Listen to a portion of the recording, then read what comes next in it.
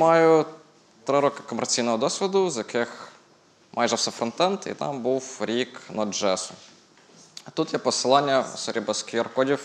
Я буду шарити презентацію всю на мій Facebook, якщо хтось хоче поспілкуватися. Е, можливо, якийсь HR, але я не пишу. Е, на GitHub. Е, там не так багато репозиторів, не так багато коду, але раптом ви не достукаєтесь до мене на GitHub, я подумаю, що ви е, рекрутер. І деколи я щось публікую на Хабрі, це переважно якісь переклади, пов'язані з JavaScript. Окей, це. Е, Про що ми будемо сьогодні говорити? Давайте перед тим. Е, Підніміть руку, хто працює з JavaScript. Окей. Е, А хто працює постійно з асинхронним JavaScript? Ну, Окей. І третє питання останнє. Що б ви хотіли почути? Про, про що? А конкретніше? Що не можна юзати колбики? Що не можна? Ой, спойлер. Окей. Е, буде маленька преісторія. Е, Звідки з'явилося асинхронне програмування, е, звідки воно з'явилося в JavaScript, на що воно. Е, Буде дві історії навіть. Потім поговоримо про фічі ECMAScript. Сьогодні вже згадувалось це слово, ECMA 262. Поговоримо про те, що є в стандарті, або що планується ввести в стандарт. І потім поговоримо трохи про деталі реалізації. Я буду зачіпати і фронтенд, і бекенд, тобто як браузерний JavaScript, так і ноду. І поговоримо трохи, чим вони відрізняються, які є нюанси. Окей, готові? Е, є така схема. Е, є навіть презентації з цією схемою. Це схема інфраструктури асинхронного програмування в JavaScript. Е, якісь фічі є в мові, якісь фічі реалізуються бібліотеками. Але це схема. Я вам дам ще пару секунд на неї подивитись, а потім запропоную свою схему. Не жорстче, вона простіша. Е, В ній це піраміда е, з трьох елементів. В ній є три шари е, по рівню абстракції. Найвищий рівень це бібліотека. Є купа бібліотек, які реалізують асинхронність. Ну, купа, досить багато в JavaScript. І це найвищий рівень. Тобто, якщо вам не вистачає якийсь е, фіч мови, е, або ви хочете якось вивернутися з, нативних е, фіч, ви підете до бібліотеки за якоюсь функцією. Це може бути, не знаю, Rix чи Async.js. Е, Наступним рівень іде на рівень нижче, це ECMAScript Language е, Features. Е, Це або стандартизовані, або нестандартизовані фічі. Е, Це, наприклад, колбеки це не зовсім частина стандарту, але самі колбеки як е, елемент мови, він стандартизований. Е, Може бути, ну, до недавнього часу це міг бути Async який був стандартизований не так давно, та пару років буквально. До 2015 року для нас е, був проміс доступний в jQuery, але його не було в мові програмування. Може таки пересікається з бібліотеками і таке інше. Ну і те, що під капотом, деталі реалізації, це е, наші сетаймаути, інтервали, таймери, та, яких немає в стандарті, які е, є частиною конкретної реалізації JavaScript, чи ті самі некстіки, event loop, як воно працює і так далі. Це піраміда. Тут е, вище згадані бібліотеки це Rix.js і Async.js, що я відношу до е, вбудованих фіч. До вбудованих фіч, на мою думку, входять колбеки як основа основ, проміси, генератори, async await і теж досить свіжа штука for await off, цикл синхронний. А те, що стосується реалізації під капотом. Загальний для фронтенда, для бекенду це event loop. Він є в будь-якій реалізації JavaScript. Е, Це черга задач і таймери. Це тайм-аут, це інтервал. Тобто це те, що сходиться і на бекенді, і на фронтенді. А от далі йдуть відмінності. Якщо на бекенді у вас є event emitter, то на фронтенді він називається event target. Якщо на бекенді ви маєте для планування задач process next tick і set immediate, то на фронтенді через його специфіку маєте request animation frame. Воркери є і на фронтенді, і на бекенді, але вони різні. І ще це от найсвіжіше, що в нас є сьогодні на фронтенді, що стосується синхронного програмування, це ворклети. Хто що про ворклети? Окей, значить не свіжіше. Е, Ми спробуємо відповісти на три запитання. Е, Нащо так багато всього нам для синхронності? Чому, ми не можемо обійтись з колбаками чи тільки промісами? Навіщо ще збавитись з генераторами, зірочку всюди писати, там всі ключові слова нові вчити? Блін. Await, та. Е, е, після того, як поговоримо, для чого, е, скільки його, поговоримо, для чого воно, як його приміняти. І наступний останній пункт це буде, як варто з тим працювати. Тобто, як не гавнокодити, можливо, про якісь підказки, якісь підводні камені. Та, сьогодні морнях називається, як виявилось, е, як він там називається? Pitfalls, та, підводні камені. Бачите, як там. Окей. Перша історія. Е, Це досить відома гівка. Не знаю, знаєте, не знаєте там. е, З Chrome Dev Summit 2018 року. Як працює JavaScript на фронтенді? Е, Ми говоримо про те, що JavaScript на фронтенді працює в вкладках, та ви маєте браузері вкладки, і на кожну вкладку у вас є один тред, тобто один потік. І в цьому потоці JavaScript і працює. Що робить потік? Потік виконує якісь задачі. Е, Задачі бувають різні. Бувають задачі, які ви ставите самі е, браузеру, пишучи JavaScript, бувають задачі рендерінгу. Наприклад, е, вам потрібно відмалювати сторінку. Браузер, як правило, це робить 25 разів на секунду, та, щоб підтримувати частоту кадрів. Відповідно, є фаза рендерінгу. І що відображається? Гівка? З ліва. Зліва? Так, зліва. Сорі, багато екранів. Зліва маєте фазу рендерінгу.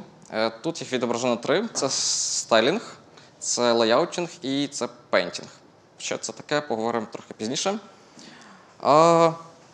Справа е, це ті таски, які ви ставите з JavaScript, пишучи самі скрипти. Це колбеки, це якісь заплановані задачі. Що відбувається? Коли виконується JavaScript, він в будь-якому випадку має вам е, тред, має в будь-якому випадку вам відрендерити сторінку. Тобто він в будь-якому випадку буде заходити на фазу рендерінгу. Але між цим йому треба переключатись між вашими задачами. І він таким чином ходить по колу і виконує потрібні задачі. Але з'являється проблема, коли ваші задачі вами написані дуже важкі, тред не встигає е, переходити фазу рендеринга. Відповідно, він не встигає зробити рендеринг, е, порахувати кадри 25 разів на секунду, і ви відчуваєте лаги. Це фрізи. Хто зустрічає, е, хто працює з анімацією, знає, що, наприклад, якщо ви робите якісь важкі обрахунки для анімації, правило, ця анімація буде глючити. Оце основа е, цих от лагів. Тобто, коли ви робите обрахунки, браузер, браузер не має часу відмалювати е, те, що ви нарахували. Які в нас є висновки з цього? Маємо один тред, та, сказали про це, який може бути блок- заблокованим intensive task. Це, ті ваші важкі задачі, intensive task, які блокують наш рендеринг. Е, якщо ви використовуєте асинхронне програмування, е, ви намагаєтесь за допомогою асинхронного програмування вирішити цю проблему. Відповідно, намагаєтесь свої важкі таски розподілити так, щоб не блокувати рендеринг. І це приводить до того, що ми звільняємо е, ресурси для рендерінгу, і це відбувається коректно. І третій пункт це е, нам доведеться працювати з синхронним програмуванням, е, синхронним, sorry, з синхронним кодом.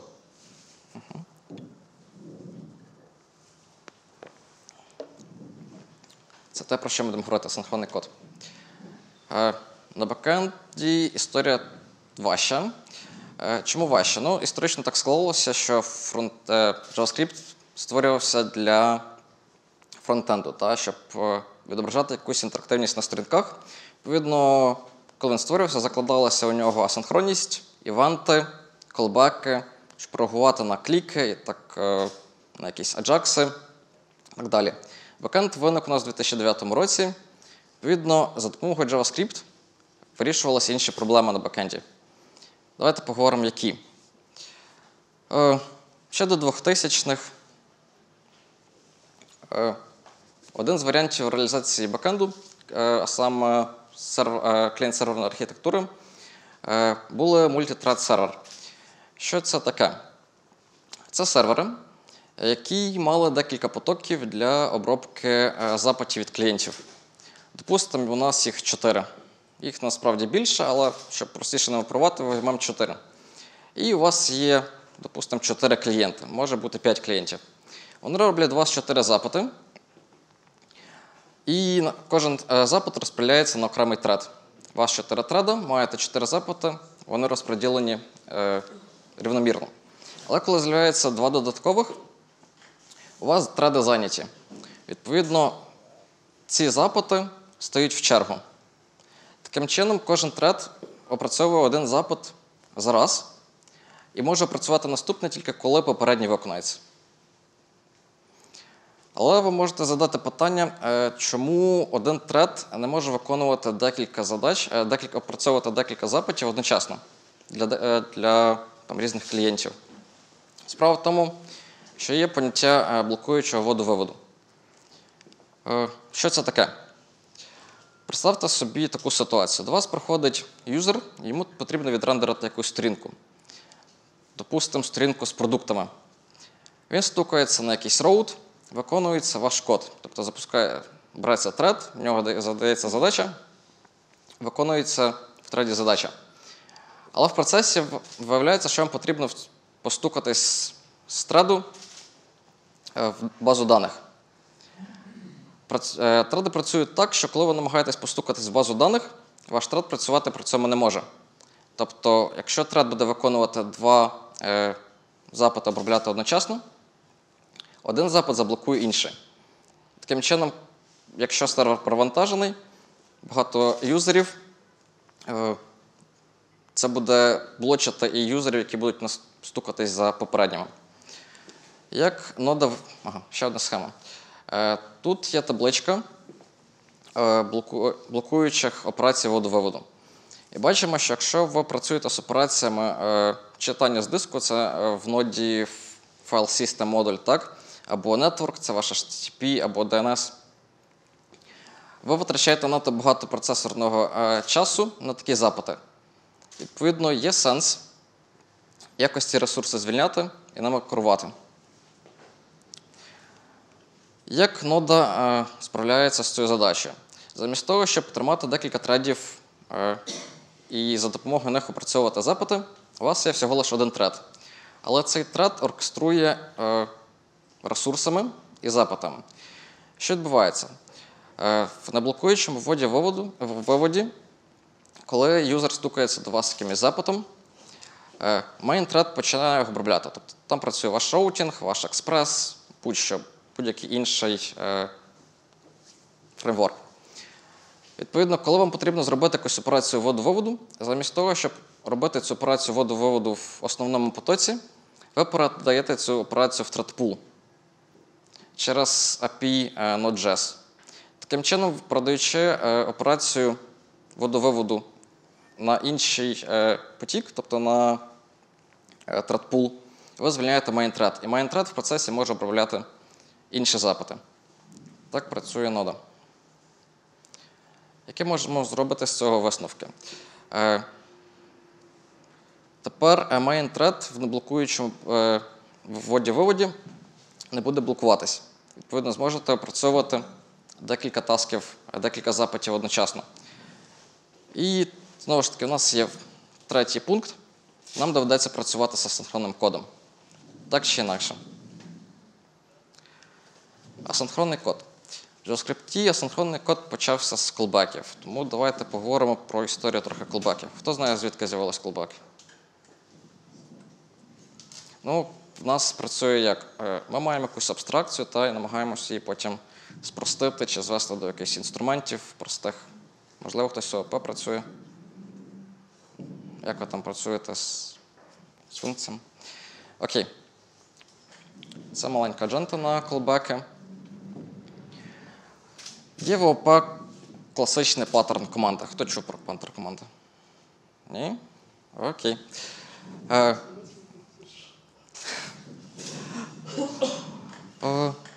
Є файна книжка, багато про неї чув, це е, паттерни програмування банди 4. Це класика програмування, і там описаний такий паттерн, як команда. Що це за паттерн? Це паттерн, який дозволяє вам інкапсулювати е, якусь дію в об'єкт. В чому проблема? У вас з'являється проблема, що вам потрібно передавати дію між функціями. Прокидати функцію, як, е, дію функцію як аргумент, чи викидувати цю дію з функції як результату функції. Відповідно, так як функції це у вас не дані, типу не дані, е, в низькорівневих мовах програмування, вам доводиться перетворювати функції в дані. І для цього вам треба інкапсулювати функцію, тобто дію, в об'єкт. А з об'єктом ви можете працювати вже як з звичайними даними. Давайте подивимося, як це реалізовувалось. Всього є три пункти. Четвертий це е, додатковий. Перший це ви створюєте абстрактний клас.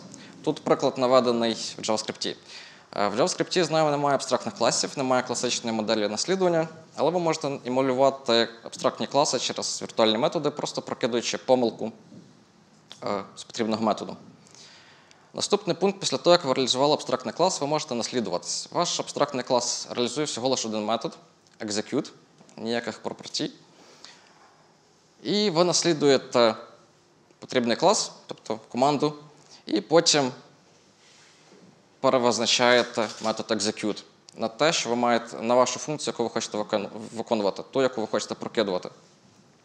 Наступний пункт це of. Ми перевіряємо, чи насправді це додатковий пункт, чи насправді е, наш екземпляр є екземпляром класу команди. І четвертий пункт найважливіший. Подивіться уважно, як ми виконуємо callback. Ми прокидаємо команду, тобто сам об'єкт, функцію як аргумент, тому що це дані, ми можемо це зробити. І потім викликаємо метод execute через крапочку в, кома- в команди. Бачите? Тобто тут execute це ваша дія. Команда об'єкт, execute дія. Що відбувається в JavaScript? В JavaScript будь-яка функція це об'єкти. Тобто в JavaScript функції це ж так дані.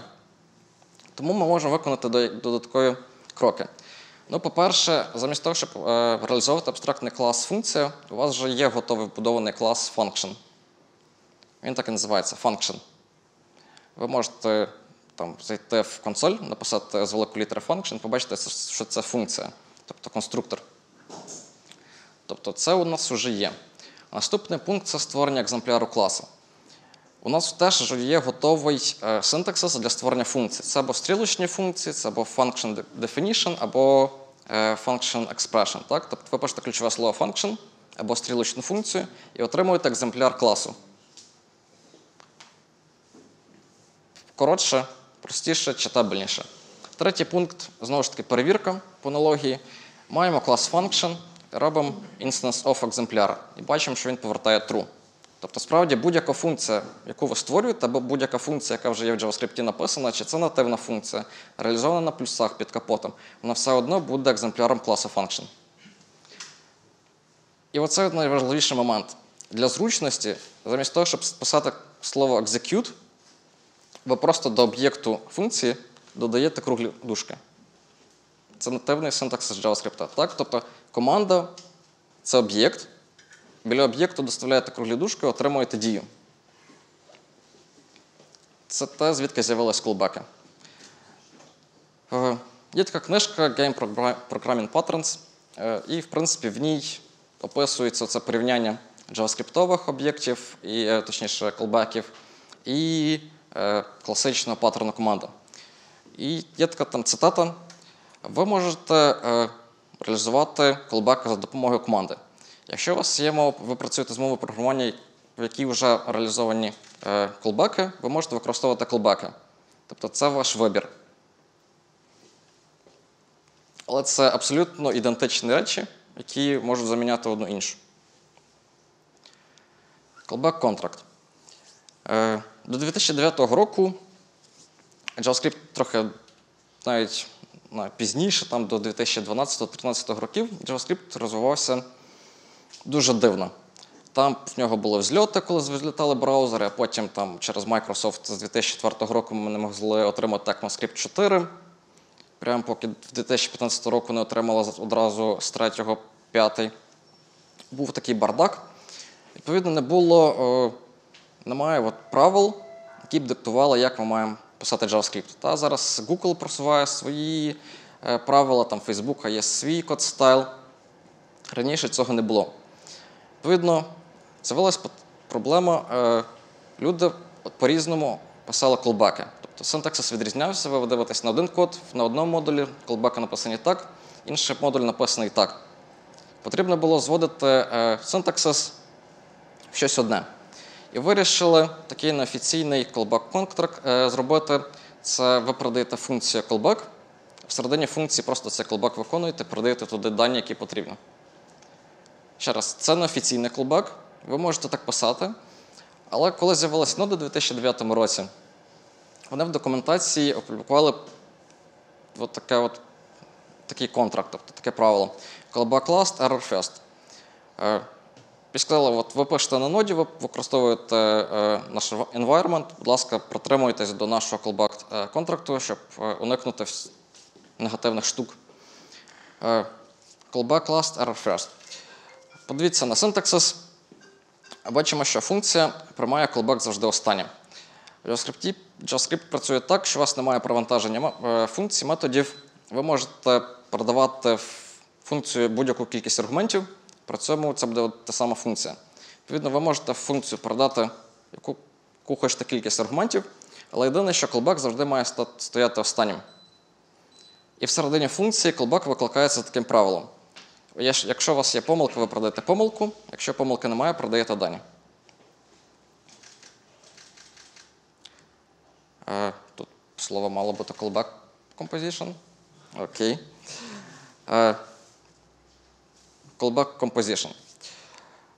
Е, Коли у вас синтаксис виглядає приблизно таким чином, та функція одна отримує callback, викликає всередині цей callback. Досить просто виглядає, особливо якщо стрілочна функція, один рядочок, нічого лишнього. Але справді, справжня задача е, це коли ви компонуєте е, колбаки між собою. Це коли ви передаєте декілька колбаків функцію, хочете їх виконати всередині функції, чи послідовно, чи хочете вибрати, який колбак хочете виконувати. Потім цей, ця функція чи колбак викликає іншу функцію, яка теж прокидується колбак. Отримуєте заплутаний код, е, який наче відображає композиція колбаків. І це призводить до callback hell. Багато хто бачив цю картинку, багато хто чув термін callback hell. Callback hell – це про ієрархію колбеків. Callback hell ще називають callback пірамід, коли ви ієрархічно вкладаєте колбеки один в один. Е, Тут найгірше це пониження читабельності коду. Взагалі, callback hell – це про читабельність і розуміння коду. Коли ви дивитесь на код і не можете його зрозуміти одразу, ви такий код не хочете читати. Правда ж? Просто лишаєте, йдете далі з надією, що може хтось потім це за мене пофіксає. Callback hell. Е, Як можна вирішити callback hell? Це питання до вас. А чим допоможе рефакторинг? Окей. Рефакторинг на що? Яка альтернатива? А до промісів? Проміси, окей, в jQuery не знаю, коли з'явились. Як варіант, можете винести функції. Можете їх назвати, але тоді вам доведеться називати функції, а ви хочете працювати з анонімними, допустимо. Винесли функції, можете їх перевикористовувати. Але все одно вкладеність буде, та? тобто все одно буде вкладено викликати функції. З'являється callback chaining. Е, Є бібліотека, так і називається, здається, callback do чи chain е, callback, щось в тому роді. Е, Це виглядає так. Ви створюєте якийсь об'єкт з допомогою функції chain. І через do навішуєте на цей об'єкт колбеки, які хочете виконати. Відповідно, колбеки будуть виконуватись один за одним, і при цьому результат кожного попереднього колбака буде передаватись наступний. І викликаєте start chain. Таким чином, у вас немає вже рівня вложеності. У вас є do, але вони схожі на проміси, правда? На наші зени. Тобто вони послідовні. Такий код простіше читати. Ви просто дивитесь на список і бачите, які колбаки мають виконатися. Єдине, що потрібно розуміти, що результат буде прокидуватися з одного колбаку в інший. Це реалізація. Можете протестувати потім. Е, в- реалізації використовується двозв'язний список, досить стандартна е, структура даних, і курсори. Проміси. От у вас є do, але do – це бібліотека або ваша власна реалізація. Притом не дуже зручна. Проміси, як я вже казав, проміси з'явились ще задовго до стандартизації, та, тому що, в принципі, стандартизація JavaScript працює так, що у вас з'являється якась фіча, вона входить на просторі інтернету, а потім тільки вводиться стандарт. Десь там в, проміс, е, в промісах, в jQuery з'являються проміси. І в 2015 році ми маємо нативну реалізацію в JavaScript. Знову ж таки, маленька агента. Що таке проміс? Хтось може сказати проміс? Що це? Ну, тут було команд, що ми наче на співбесіді, але. Це об'єкт. Та callback, е, проміси це об'єкти, які мають стан. Відповідно, якщо вони мають стан, вони мають якийсь життєвий цикл. І ось це життєвий цикл проміса. Е, Ви маєте дві стадії: це pending і settled. Проміс. Е, Як це працює? Коли ви створюєте тільки проміс як- з допомогою якогось методу чи за допомогою конструктора, проміс одразу стає в стадії pending. І після того, як ви всередині функції викликаєте або resolve, або reject функцію, pending переходить в фазу settled, і при цьому вибирається один з пунктів або fulfilled, або rejected. Е, Чому це важливо? Е, Тому що в нас є статичні методи, про них ще будемо зараз говорити. Це all, rise, та? Е, про них майже всі чули. Є ще any і all settled. Зараз дійдемо. Promise composition. У нас з колбеками була проблема композиції. Тепер з промісами. Наче проміси мали вирішити проблему колбеків, але чомусь не вирішують. Ну, перше, це те, що проміси вирішують чейнінг. Тобто отримуєте оцю от аналогію з do, де послідовно е, колбеки, маєте досить лінійний список, послідовність, досить легко читати. Але часто в реальних проєктах з'являється така проблема. Вам потрібно проміси вкладати один в один, е, щоб хендлити помилки правильно. Тому що від е, ієрархії е, промісів залежить від того, як буде хендлитись помилка. Або робити якісь розгалуження, або отр- проміс один за одним. Е, Не знаю, я не дуже хотів розповідати цей приклад, мені соромно. Але окей. Припустимо, у нас є сайт е, для дорослих. І є така штука, як е, стрімінгове відео. Знаємо, так? Е, як це реалізується на JavaScript? Як реалізується стрімінгове відео на JavaScript? Ваш сервер віддає вам шматочки відео е, на фронтенд. Відповідно, коли ви отримуєте його на фронтенді, ви ці шматочки відео склеюєте і вставляєте в відео, тобто відображаєте. Таким чином ви можете отримувати відео по частинках. Але з'являється така проблема. Ну, реальна проблема, потрібно було це порозолувати. Е, вам потрібно, щоб скачати відео, ви хочете скачати відео цілим. Потрібно зробити там якусь кількість n фетчів по, по кількості шматочків, отримати масив промісів, і потім, коли ви хочете порозол- порозолувати ці проміси, склеїти їх в одне відео, зробити це паралельно і при цьому отримати в кінці якийсь єдиний результат. Тобто у вас є е, паралельне виконання промісів і потім хендлінг результату.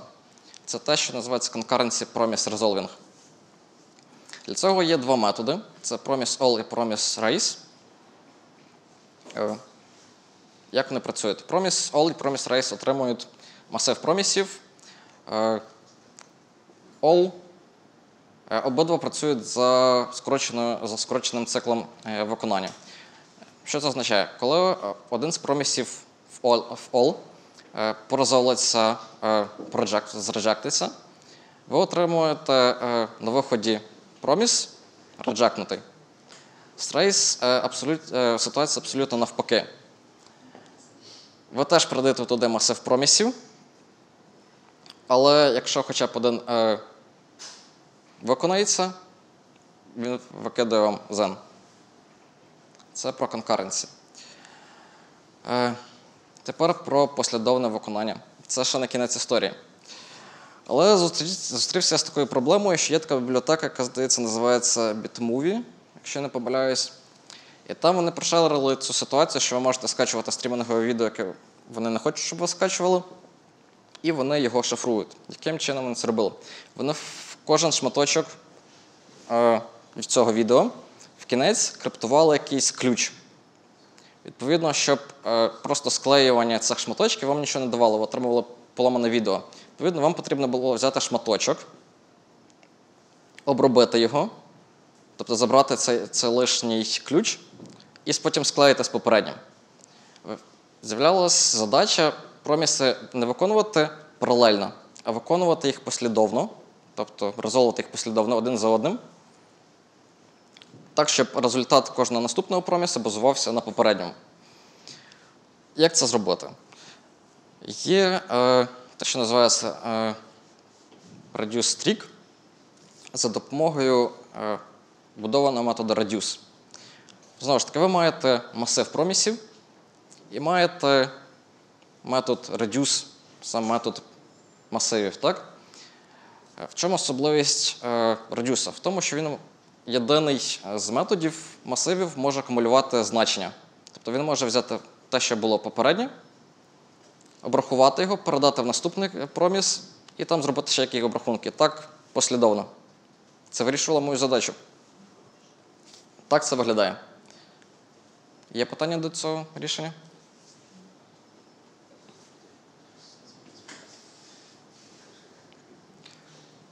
All settled.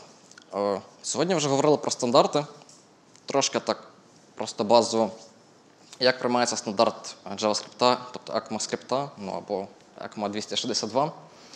Е, До 2015 року е, ви мали таку ситуацію. Збираються вендори браузерів, платформ і обговорюють, які фічі ми хочемо- отримати в наступних версіях. Відповідно, вони запропонували фічі, потім це проходить е, час реалізації, тестування, і так ітеративно. І на виході ви отримуєте там першу, другу, третю версію ECMAScript. Але хто знає, що таке ECMAScript 4? Хтось бачив його в очі? Або тебе ну, байдуже щось. Як що це таке ECMAScript 4? Та немає ECMAScript 4. А знаєте чому? Тому що Microsoft е, хотіли в 2004 році просунути свої фічі е, в JavaScript, які не влаштовували інших вендорів. Відповідно, з 2004 року по 2015 рік ми не мали нового стандарту ECMAScript тільки через Microsoft. Відповідно, в 2015 році якось Microsoft ослаб, Chrome вийшов на передній план, і Google все-таки просунуло ECMAScript 5, а через затримку вони вирішили, типу, четвертий, четвертого не буде, буде одразу третій, п'ятий. Що? Дуже вчасно. Окей. І так як е, ми вміємо вчитися на своїх помилках, запропонували ітеративну систему введення стандартів. Тепер стандарти вводяться кожен рік.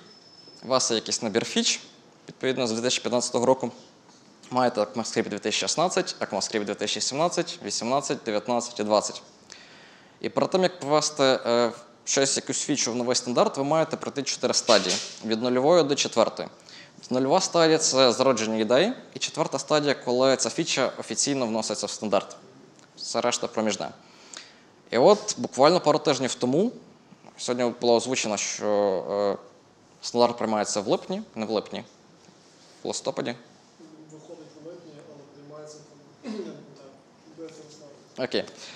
Е, Був, було засідання комітету ТСі-39, тобто який приймає стандарти, і він офіційно підтвердив, що All Settled можна вводити в стандарт.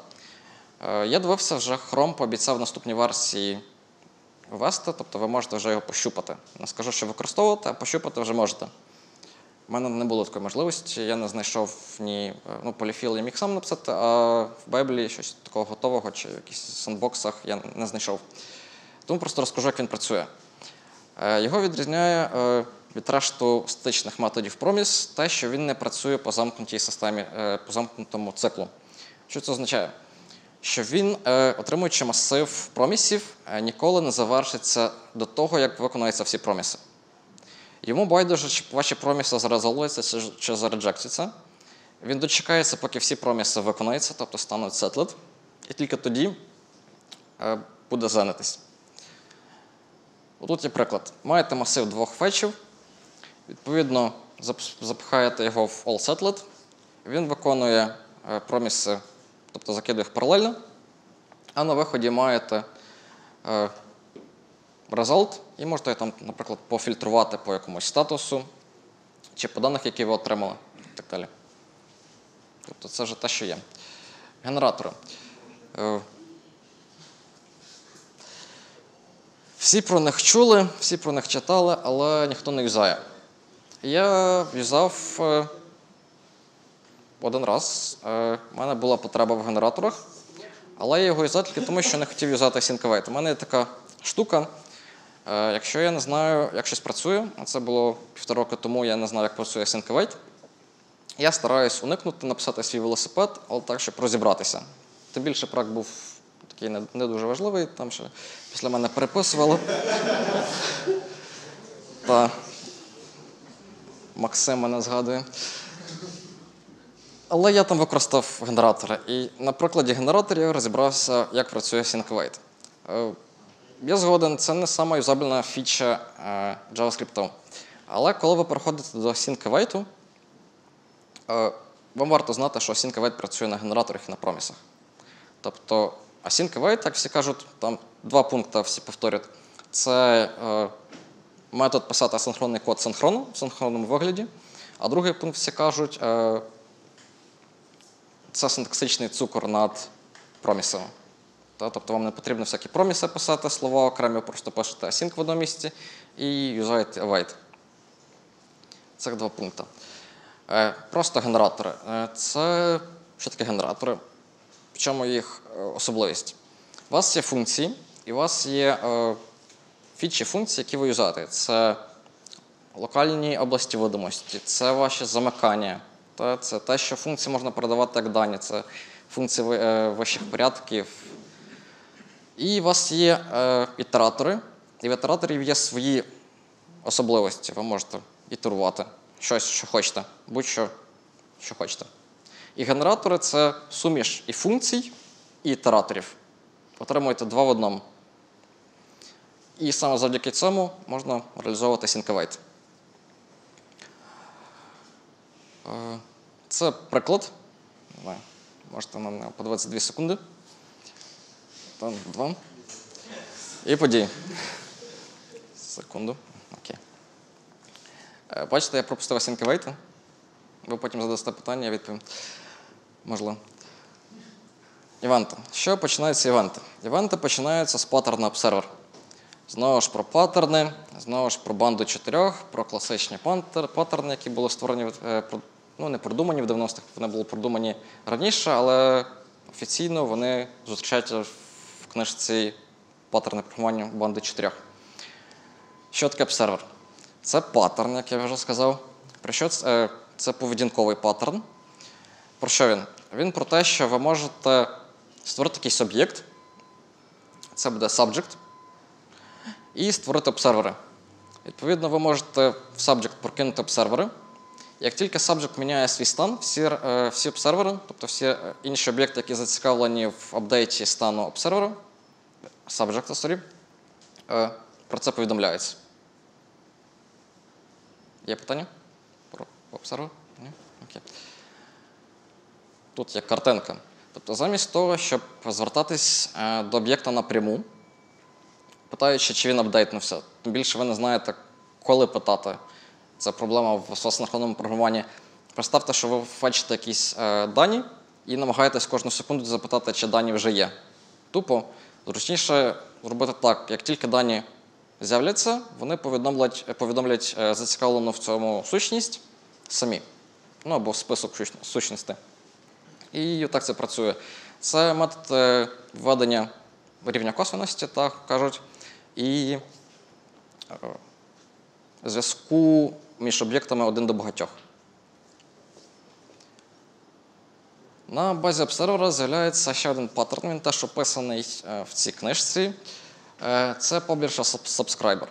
Чим він відрізняється? Він вводить ще одну додаткову сущність, яка називається Event Bus, тобто шина подій. Е, Ця додаткова сущність дозволяє вам типізувати події по типу. Тобто ви хочете, ви приходите в магазин і хочете дізнатися, що з'явилася конкретна модель телефону. Чи інший клієнт хоче дізнатися, що з'явилася конкретна модель телевізора. Йому не цікаво, чи взагалі з'явилася якась техніка. Він конкретно хоче знати, бути повідомлений про оцю конкретну річ. І Event Bus дозволяє вам реалізувати це. Тобто ви берете фронтенд, маєте там кліки, е, кейборд, events, маєте XML HTTP реквести, там теж івенти є. І в залежності від типу можете підписатись на якийсь з них. Для чого я це розповідаю? Справа в тому, що в JavaScript є нативно реалізований Event Target і Event Meter. Event Target реалізований на фронтенді, Event Meter реалізований на бекенді, тобто в ноді. Е, Про що Event Target? Про те, що у вас будь-який вузол е, дом-дерева може хандлити івенти. Чи це кнопка, чи це ссылка, чи це звичайний текст div, чи це е, команд, наприклад. Все це може обробляти якісь івенти. Відповідно, щоб додати можливість хендлити івенти, всі дом-вузли наслідуються від класу EventTarget. EventTarget реалізує паттерн Publisher Subscriber. Це готова реалізація в JavaScript. Ну і Event Emitter е, аналогічно в ноді. Всі е, модулі, всі сущності, які у вас є в ноді, які так чи інакше працюють з івентами, наслідуються від Event Emitter. Ви можете взяти будь-який об'єкт, наприклад, процес чи стрім, взяти процес instance of Event Emitter отримуєте true. Тобто будь-який, виключень немає. Але в ноді ви можете ще використати Event Emitter для хендлінгу промісів, наприклад. Як це виглядає? Видно, ну, я не про масштаб зараз. Пам-пам-пам. Окей. Зараз порамося. Пам-пам-пам. Emitter Demo. Так, видно? Окей. От зверху є е, імпорт Event модуля.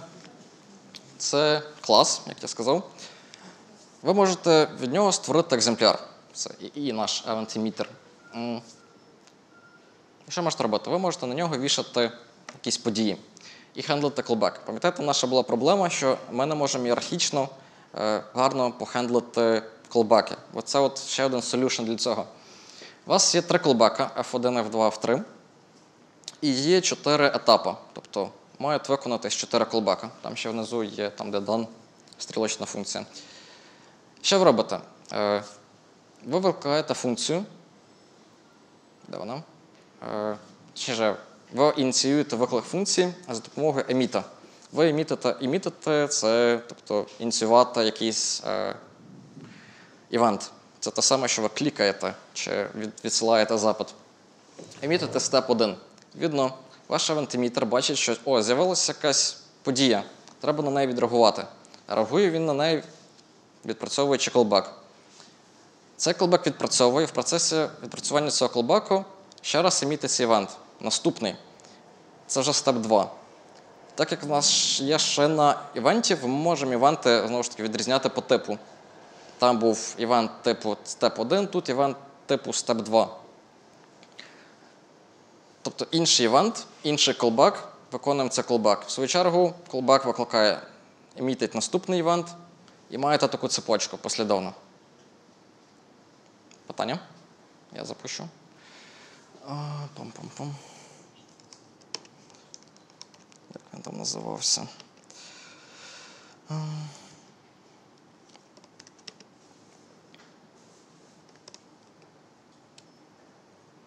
От результат. Маєте послідовно step 1, step 2, step 3 і done. Тут приклад е, з синхронним кодом. Ви можете зробити це саме з асинхронним кодом. Тобто, так само після виконання синхронної операції імітити потрібний вам івент і робити послідовність.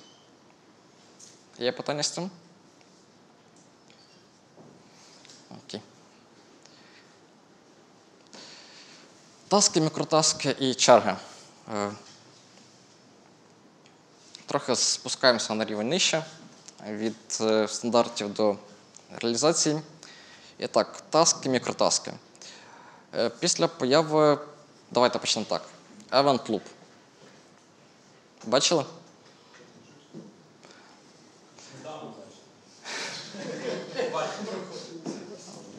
Знаєте, в когось цей. Е, там. Дівчата на стінах висять, а в мене Event Loop. Роздягаю його чим. Окей. Е, Event Loop. У вас, що у вас є в Event Loop? У вас є е, callback е, stack, у вас є черга. Всі показують одну на картинках, їх там більше. Е, є сам Event Loop, є сторонній API. Нічого не забув? Здається, ні. Окей, коли у вас виконується якийсь call stack, в процесі виконання колстеку ви можете виконувати, е, ініціювати асинхронні операції, наприклад, таймер чи set timeout. Я сказав, що таймери не реалізовані в JavaScript е, в стандарті. Е, Як працює таймер? Це фіча браузера, яка в свою чергу звертається до фічі операційної системи, яка дозволяє вам відкладати, засікати час і відкладати якусь дію на потім. Відповідно, так як це не частина е, JavaScript, це потрібно попросити в операційної системи, щоб операційна система почекала, а потім сказала, коли цей час пройде. От це ваша синхронність, звичайні таймери. Відповідно, як це працює? Коли виконується якась функція чи, глобальна, е, чи функція глобальної області видимості, вона створює, е, запускає функцію setTimeout, і ви продаєте туди завжди callback. Що відбувається? У вас є збоку створення API, і ваш JavaScript стукається до них, тобто віддає цю задачу кудись в інше місце, кудись в операційну систему через рівні. І все, і забуває про цю задачу. Проходить деякий час, і операційна система засекла цей час і сказала: от, час робити callback. Що відбувається? Операційна система намагається постукатись до вашого треда, до event loop, і просить вас виконати callback, який прив'язаний до, цієї, е, до цього таймеру. Але JavaScript каже: ні-ні, типу, стій, я зайнятий, я тут е, щось малюю. Відповідно, у вас з'являється ще одна сущність це черга. Всі колбаки, які не опрацьовані, не можуть бути опрацьовані в, поточному, е, в поточній ітерації вентлупа, стоять в чергу. І ви отримуєте такий зв'язок. Тобто у вас є stack, у вас є черга, у вас є сторонній API і event loop, який крутиться по колу і виконує задачі по колу. Трошки представили? Тепер таски, мікротаски, черги. Е, Таски це всі звичайні задачі, які ви плануєте. Це всі колбеки, це всі виклики функцій. Мікротаски це колбек, які плануються промісами. Ну і черги це е, те, куди складаються ці задачі. Тобто для тасків є своя черга, для мікротасків є своя черга. І я ще скажу, що для е, задач, які пов'язані з рендерінгом, є своя черга. В чому особливість? Є такий код. Давайте спробуємо. Я знаю, що всі не люблять читати слайдів код, ну, виконувати як мінімум його в голові. Е, І представити собі послідовність виконання цього коду. Там всього лиш вивід в консоль. Що? Що? Script start, script end, promise 1, promise 2, set timeout. Окей. Всі так подумали? Це, це... Прошу? Лекція з універа. Тебе якийсь дуже просунутий універ. Я трамвай малював універ. Так, скрипт, script end, promise е, 1 і promise 2. Е, Бачимо ще undefined між ними. Що це за undefined між ними? Це консоль браузера виводить. Чому там undefined? Це заразово виходить, щось чи по Е, Ви намагаєтесь в коді знайти. Е, Хто працює з консолью, е, ну, Так, я запустив це в консолі, але що, на що вказує undefined? Типу,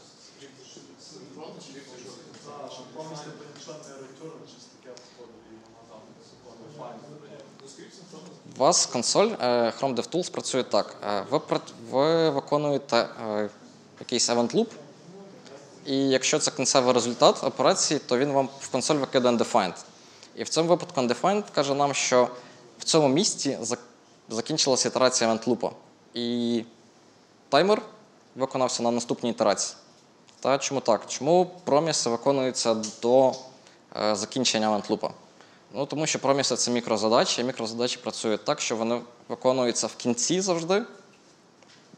Вони виконуються е, кучою. Тобто, якщо одна е, мікрозадача ініціює callback для іншої мікрозадачі, вони всі будуть виконані в поточній ітерації е, JavaScript. Задачі як працюють? Задачі ставлять е, в callstack, та звичайні callback синхронні ставляться в callback, будуть виконані по callstack. Мікрозадачі ставляться в чергу мікрозадач, будуть виконані після всіх callbackів, після callstack і до закінчення event loop. І зараз ще про Request Animation Frame. Ну, а set timeout виконався після, тому що він пішов до операційної системи, потім вона повернула і потім цей callback виконався вже в наступній ітерації event loop, і, можливо, не в цій. Це залежить від е, ресурсів. Е, Request Animation Frame. Чули? Юзаєте? Е, Для анімашок. Я обожнюю Request Animation Frame. Як фронтенщик. Хтось чув, що там React е, написали, переписали свій е, це, div Virtual DOM та алгоритм перевірки е, порівняння дому і Virtual DOM. Тепер він має вписуватися вас в 16 мілісекунд. І працює це завдяки Request Animation Frame. Тобто, якби не було Request Animation Frame, скоріш за все, Facebook не зміг би реалізувати цей алгоритм. Request Animation Frame. Тут послідовні знаєте?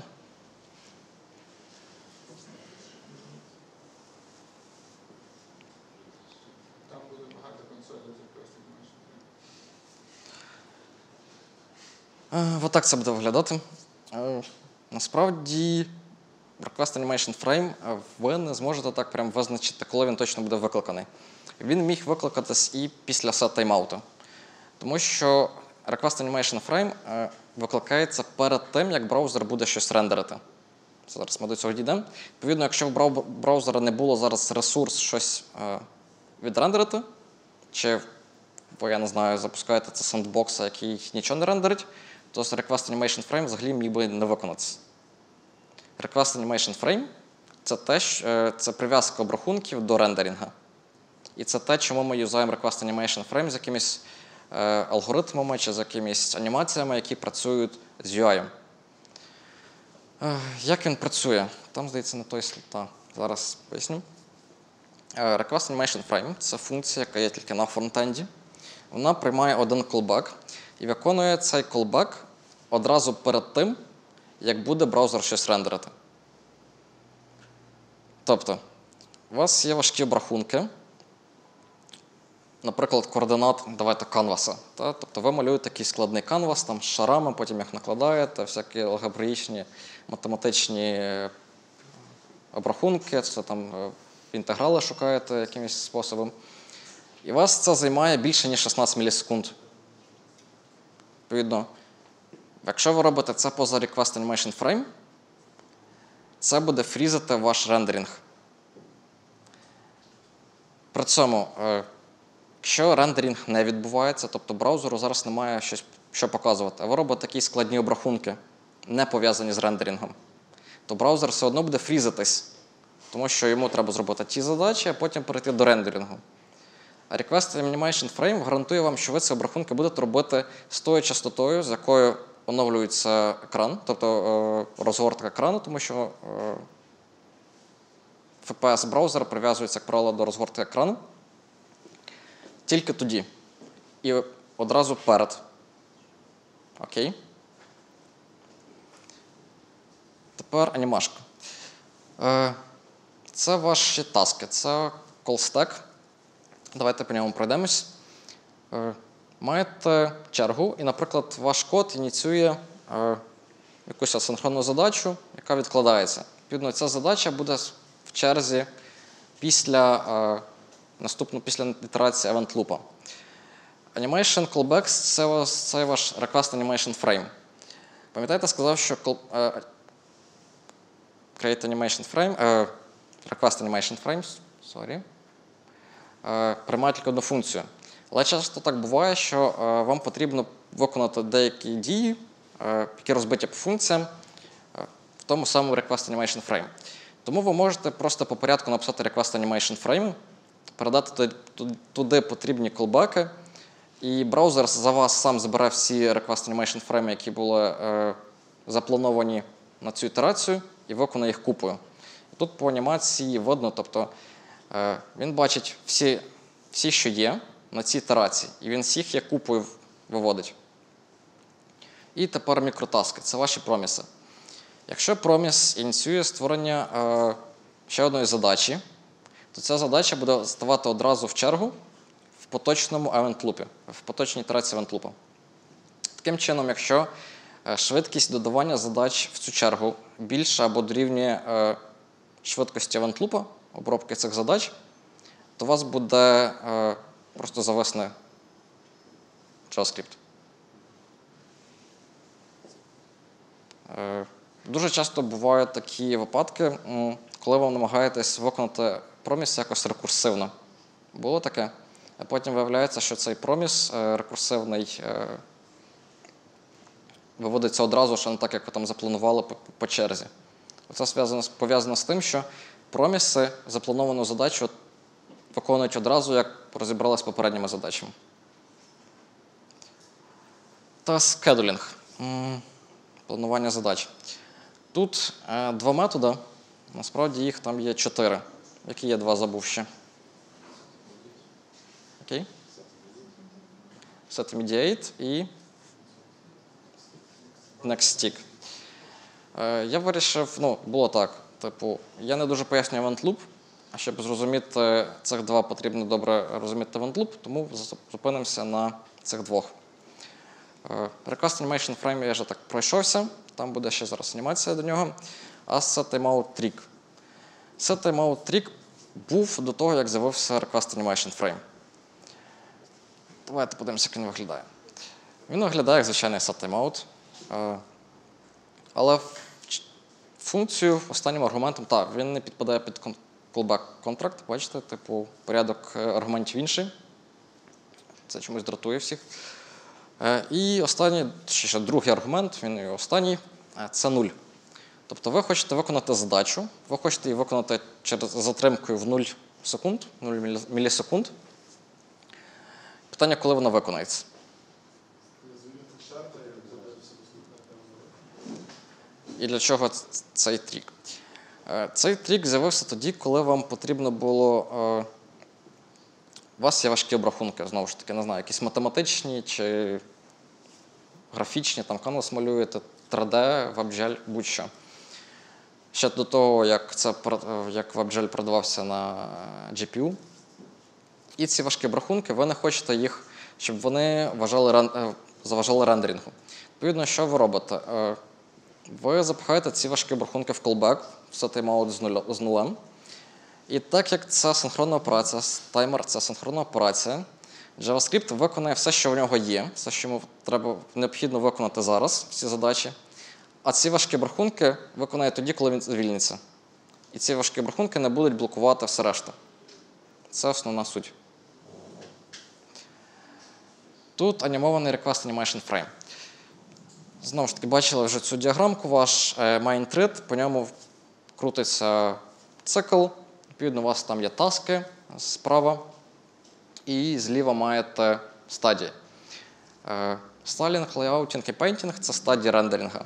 Відповідно, Request Animation Frame завжди вставляється до цих стадій. А оце от кружочок, бачите, він заходить на цю стадію рендерінга не завжди. Він заходить тільки тоді, коли браузер хоче, щоб ви е, хоче щось відмалювати. Таким чином, таски будуть виконувати завжди, а повертати на рендеринг ми будемо тільки тоді, коли це потрібно. І ці обрахунки Request Animation Frame робити тільки тоді, коли потрібно. Good? Е, Тут ще варто сказати, що до недавнього часу Safari і е, Internet Explorer реалізовував Request Animation Frame трошки по-іншому. Е, Він фазу е, Request Animation Frame ставив після рендерингу. Але це поправили з новими версіями. Воркери, і воркліти. Ми потрохи закінчуємо. Окей. Проблема CPU Intensive Task. Сьогодні вже дуже багато разів я повторював цю фразу. е, Важкі задачі або CPU Intensive Task. Що це таке? Це задачі, е, які потребують ресурсів процесора великій кількості. Це ті задачі, які блокують е, собою все решту. Тут є приклад. Зараз я по слайдах. Тут так, давайте. Наприклад, вас представляємо сервер, який робить для юзера, для клієнта якісь важкі обрахунки. У мене там демо зараз буде е, з простими числами. Тобто юзер просить 20 перших простих чисел, наприклад, там від двійки до 19, так? Повертає там не так. 20, тобто не до 20, а 20 по кількості. Sorry. 20 простих чисел. Відповідно, для 20 простих чисел це досить, е, для процесора це досить легка операція. Але бувають юзери, яким потрібно отримати мільйон ну, чи більше простих чисел. І коли вони стукаються на ваш сервер, ваше CPU займається тим, що намагається обрахувати е, мільйон простих чисел. Тепер демо тайм.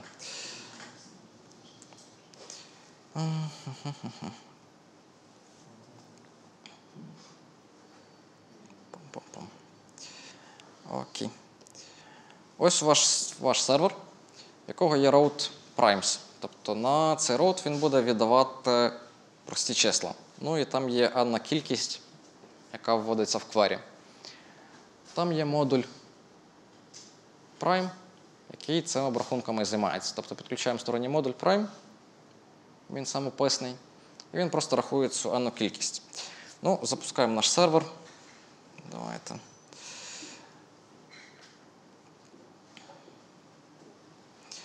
Тут зараз головна спорта мене на це. М.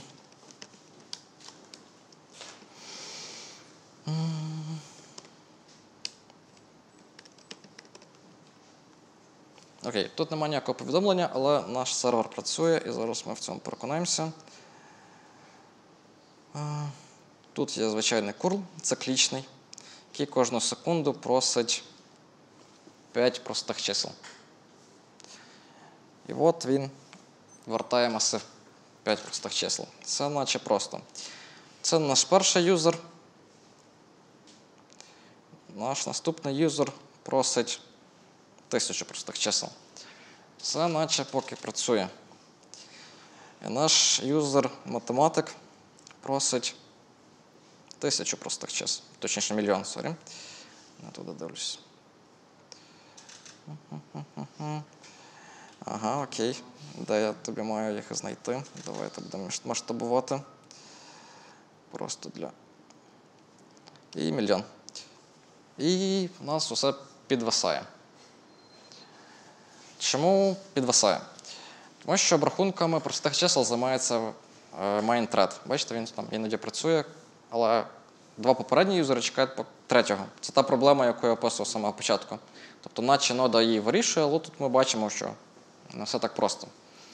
Що відбувається? Я сказав, що е, займається обрахунками. Відповідно, коли він займається обрахунками, він не може оркеструвати інші запити. Потрібно звільнити MainThread. Як ми звільняємо MainThread? Так, давайте стопати це все.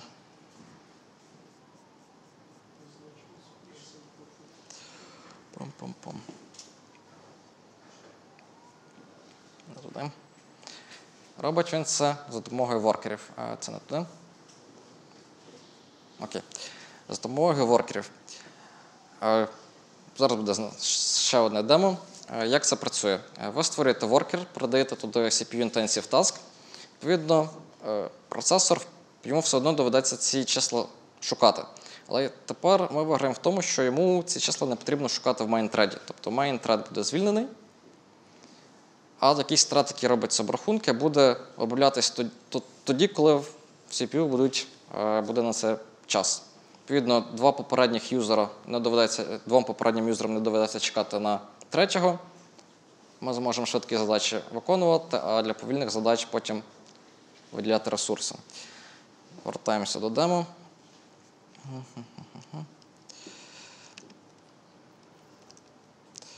Не туди зайшов. Пам-пам-пам-пам-пам. Як воно називало? Ага, Морнінг він називався. Не Монго. Морнінг.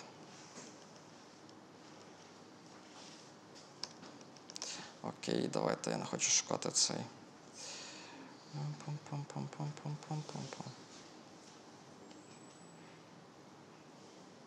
І відкрив.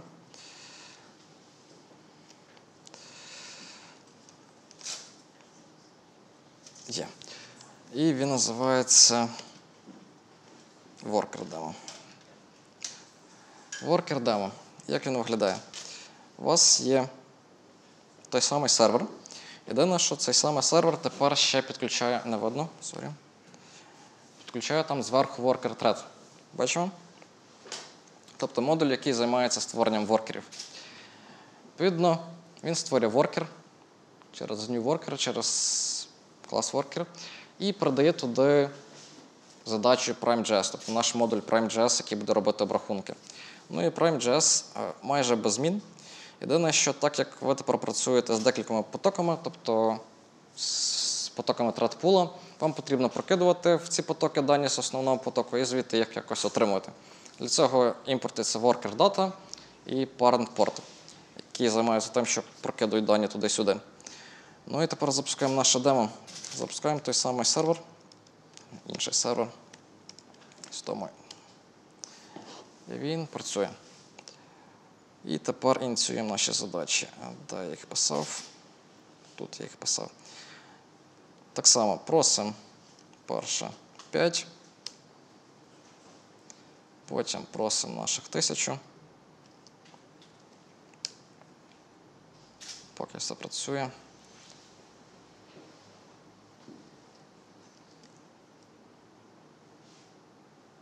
І просимо наших мільйон.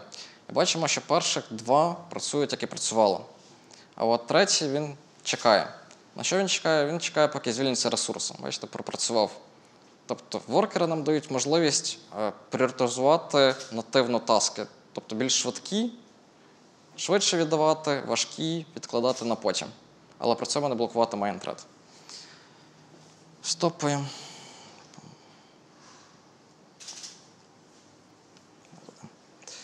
Це були воркери. Тепер воркліти. Я вже питав, ніхто не чув про воркліти. Окей. Слова схожі, але воркліти є в нас тільки на фронтенді. Тепер лишилось розібратися, для чого нам воркліти. Е, Хто працював з фронтендом, була у вас така проблема поліфілізації CSS. Та? Тобто у вас є Flexbox, ви хочете юзати Flexbox, але Flexbox не можете юзати, тому що Internet Explorer ще не вміє їх використовувати. Для JavaScript у вас є поліфіли. Тобто у вас виходить якась фіча, генератор, ви підключаєте Bible, ой, там є поліфіли вбудовані і все працює. З CSS так не канає. Ну, ви можете написати JavaScript поліфіли, але, скоріш за все, JavaScript не буде справлятися з постійним рендерінгом цього всього, особливо при і буде тупити. Відповідно, приходить до нас воркліти. Давайте покажу одразу схему. Отак ви- виглядає CSS Houdini.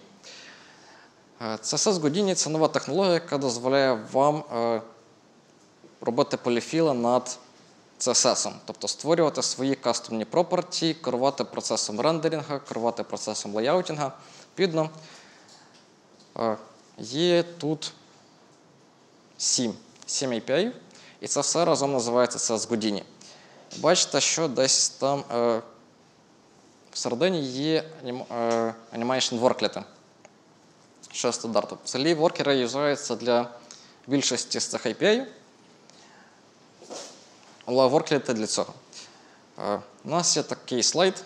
Е, Це те, як ваш браузер е, рендерить у вас, наприклад, з'являються якісь зміни в домдереві, і у вас є чотири стадії. Це е, стайлінг, це коли ви розбираєте каскадну таблицю стилів, чому, якщо вона змінилася, якщо вона не змінилась, браузер пропускає цю стадію. Ви е, робите лейаутінг, це е, побудова векторної моделі вашої сторінки, та, тому що ще немає пікселів, ваші блоки розміщаються як квадратики, навіть якщо це кружочки, це все одно квадратики. Е, Потім йде пейнтінг, ви вже перемальовуєте цю векторну модель сторінки в пікселі. І останній пункт це е, композит. Це коли ви накладаєте слої, коли ви накладаєте анімації, коли ви накладаєте транзішени.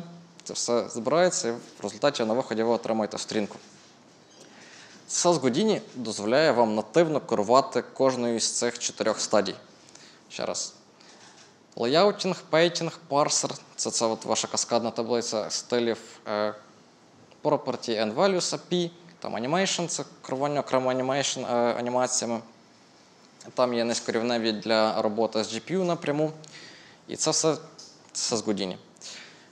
Для чого нам тут воркліти?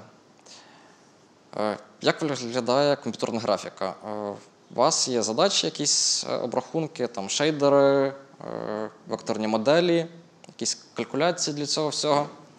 І знову ж таки, якщо ви почнете це робити самі за допомогою JavaScript, який не дуже справляється з математичними задачами, у вас почнуться лаги. Потрібні воркери. Але воркери для цієї задачі не підходять. Чому? Тому що воркліти мають дуже широкий API. Якщо ви почнете їх юзати і постійно для рендеринга юзати якісь стратпули, це все одно буде працювати повільно. Треба щось маленьке, легке, обмежене, яке буде підходити прямо під нашу задачу рендерингу. І це воркліти. Воркліти, як пише Google, це ізольовані е, контексти, які займаються тим, що оптимізовані е, під роботу з математичними обрахунками, які заточені під те, щоб бути легкими і простими. Для чого це? Знову ж таки, німашка. Коли ви створюєте воркліт, воркліти ініціюють новий потік. Тобто він береться з тредпула, це займає ресурси. Притом е, пов'язані з воркерами і з тредами ще є секюрні питання. Наприклад, якщо ви почнете воркер перекидувати між вкладками, та, тобто візьмете воркліт, і щоб зекономити ресурси, не створювати е, воркліти в кожну вкладку окремо. Ви почнете їх перекидувати між вкладками. Це буде питання секюрності, тому що ви зможете е, дані юзера з одної вкладки перекинути в іншу вкладку. Не сейвово. Тому маємо воркліти. Це не окремі треди. Це такі типу апендекси, які використовують CPU, е, щоб робити графічні обрахунки. Ви можете взяти воркліт, відключити його від одного е, треду, мейн-треду, і, наприклад, перетащити в іншу вкладку. Актуально, тому що ви працюєте, як правило, з одною вкладкою. Та ви заходите в вкладку, ви, ви дивитесь. Переходите на іншу вкладку, попередня вкладка стопиться і економить ресурси. Воркліти е, при цьому можна перекидувати між вкладками. В них немає ніяких додаткових фіч, вони можуть тільки приймати е, ці API, це з Houdini, робити математичні стандартні обрахунки і повертати їх назад е, в CSS з Houdini. Все. Є питання про воркліти? Окей. Е, На цьому все. Тут є список ресурсів, тут є список книг, з яких взята інфа. Питання? У мене є питання. Так. Е, Чи є якась специфіка по роботі зі складним кодом відношення до браузеру? Чи треба щось якось враховувати специфіку рен- рендерингу, готовність завершення? Ну, та це те, про що, про що я намагався донести. Це те, що у вас на фронтенді специфіка пов'язана з рендерінгом. Та? Тобто вам потрібно враховувати той факт, що у вас main thread виконує також задачі рендерингу. Якщо ви почнете їх блокувати якимись важкими задачами, то ви побачите лаги. Тобто, якщо ви попробуєте самі е, відмальовувати canvas там, е, без WebGL, не використовуючи GPU, у вас будуть лаги. Пробуйте якісь робити математичні обрахунки в main thread і, не зможете там скролити. Тобто вам потрібно враховувати специфіку, що на фронтенді у вас є рендеринг, і з ним треба рахуватися, а на бекенді у вас є інші юзери, з якими теж треба рахуватися, розподіляти між ними ресурси.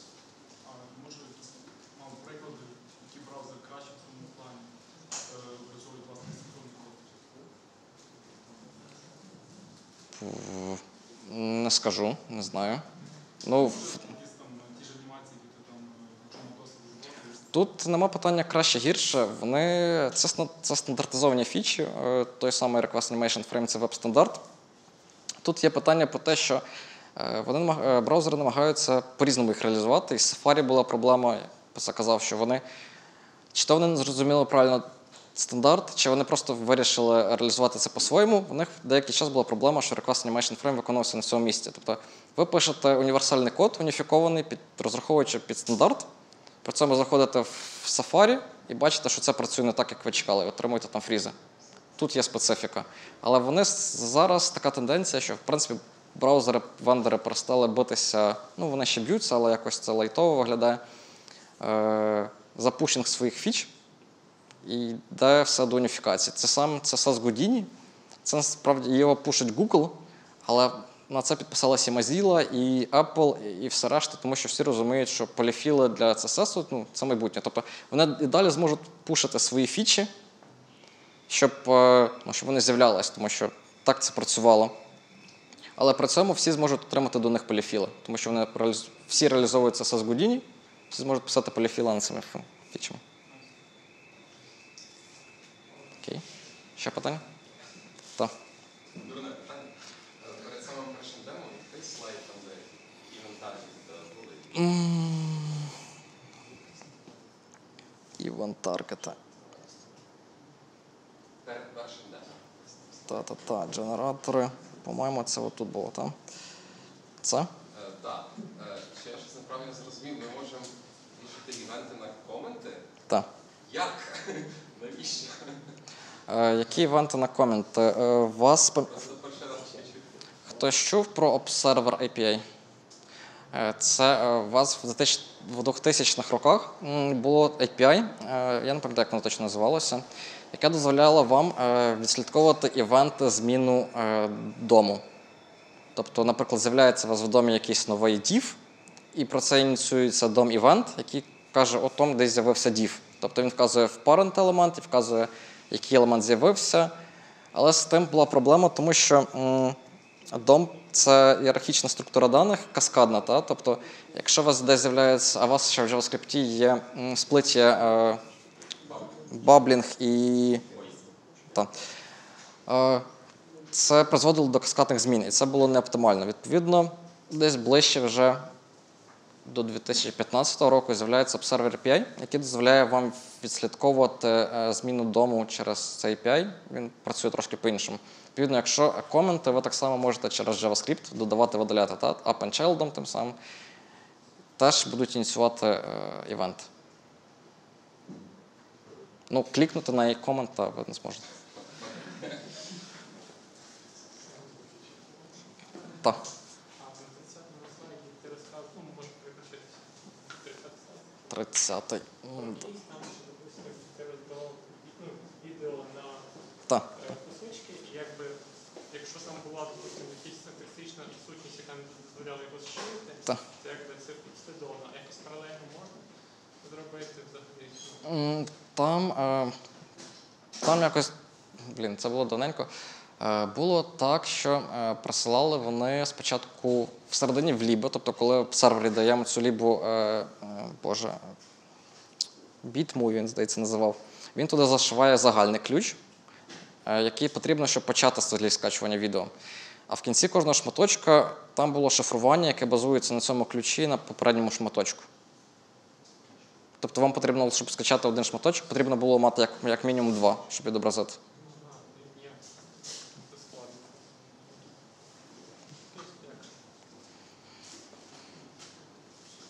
Ще питання? Є якісь особливості роботи з асинхронністю в фронтендових фреймворках?